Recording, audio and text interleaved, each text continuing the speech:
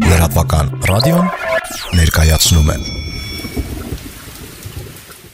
Աշխատանքային շուկայի խնդիրները շատ մեծ են եւ այստեղ նվազագույն 500.000 աշխատատեղի մասին է խոսքը, որpիսի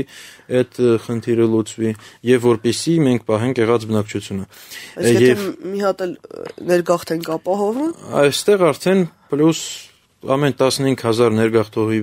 վրա նվազագույն 5-ից 8000, մոտավորապես 8000 աշխատատեղ պետք է ստեղծվի Հայաստանում։ Արդեն այն 1 միլիոնից ավել, որը պետք է ունենանք, հա։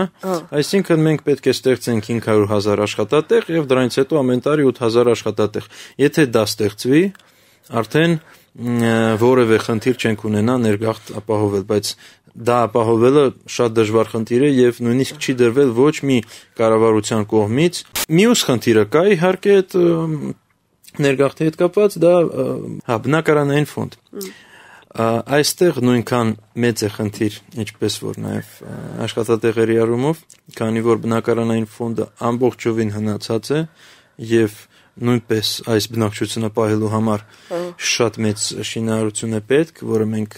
դեռ չունենք եւ որը շատ դժվար է իրականացնել, քանի որ միջոցները բավարար չեն։ Եվ բացի այդ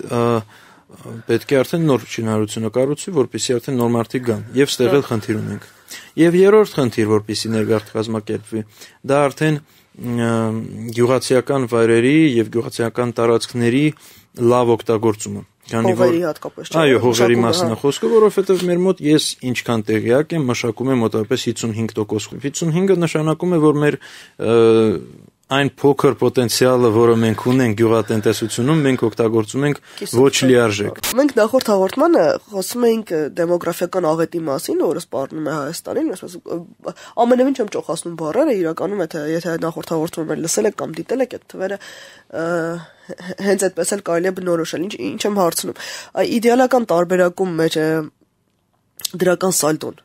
ինչքան պետք է լինի, որովհետեւ մենք այդ նաև ներգաղթի հաշվին կանխենք դեմոգրաֆիական աղետը եւ որն է ռեալը այսինքն մեր պատկերացած իդեալական տարբերակը եւ դրա ռեալը, որը մենք կարող ենք իրականացնել ինչ որ քաղաքականությամբ։ Դե իդեալականը Հաղորդումն ամբողջությամբ հասանելի է լրատվական ռադիոյի բաժանորդներին։ Բաժանորդագրվեք 1, 6 կամ 12 ամսով եւ ստացեք այս եւ բոլոր մնացած մեր ռադիոհաղորդումները նաեւ դիտելու հնարավորություն։ Բաժանորդագրությունից առաջացող հասույթը լրատվական ռադիոյի ֆինանսական անկախության եւ խոսքի ազատության երաշխիքն է։